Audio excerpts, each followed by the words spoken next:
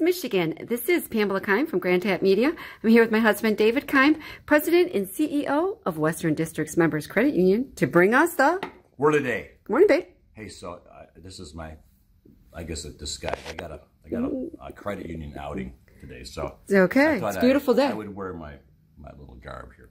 All right. Anyway, so what is what the- is the word of the day? Yeah, the word of the day from the Merriam-Webster Dictionary app is ne plus ultra. Yep, it's, plus ultra. that just rolls off the tongue. It does. It just rolls off the tongue. And you know, believe it or not, ma- ne plus ultra is the highest point capable of being attained, the most profound degree of equality or state. For example, to drummers in the 1970s and 80s, Neil Peart was an Eddie Van Halen figure, someone whose pyrotechnic chops seems to be ne plus ultra. Huh? I think it sounds like a Star Wars thing. Exactly. Did you know? It is the height, the zenith, the alter, ultimate, the crown, the pinnacle. It is the peak of the summit, the crest, the high water mark. All these expressions, of course, mean the highest point attainable. But ne plus ultra may top them all when it comes to expressing in a sophisticated way that something is in the pink of perfection. It is said that the term predecessor non plus ultra was inscribed in the Pillars of Hercules and the Straits of Gibraltar, which marked the western end of the classical world. The phrase served as a warning. Let there not be more sailing beyond.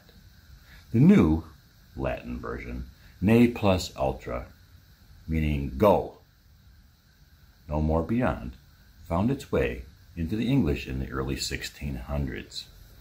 Ne plus ultra. N E P L U S ultra. L U L T R A. Ne plus ultra. Three different. All right. So use that word wisely. The highest point capable of being attained. So, Okay, that was a long one, and I don't know if I'll be using that anytime soon. But if I hear it, I'll say I think I heard that on word of the day. yeah, ne plus ultra. You know, ne almost means no. So, Yeah, really.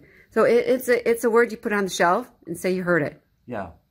So Or- if someone uses it, you, you can act. Well, it's kind of like a phrase. Yeah, So it's the ultimate. exactly. So what do you have going today? Uh, I have a busy day. I I'm going to get some editing out. I got some interviews going out next week, Yeah. and I have to get some groceries I haven't got. Wow. I haven't. Yeah, so I have a lot to do, and you're going to be gone, so um, things are going to be good. So that's what's going on for a what is today? Thursday. All day. all day. So, all right, let's wrap this up. So, what is the word of the day? Ne Say- plus ultra. Ne plus ultra. means the highest point capable of being attained, the most profound degree of equality or state. All right, use that word wisely. Uh, won't you think? I think so. I will use it wisely. Okay, we're going to make this short because I have things to do this morning to get out the door. This is me. There you go. It's David Keim and Pamela. So, we want to wish you a fabulous day, and we will see you tomorrow for the. Word of the day. Take care.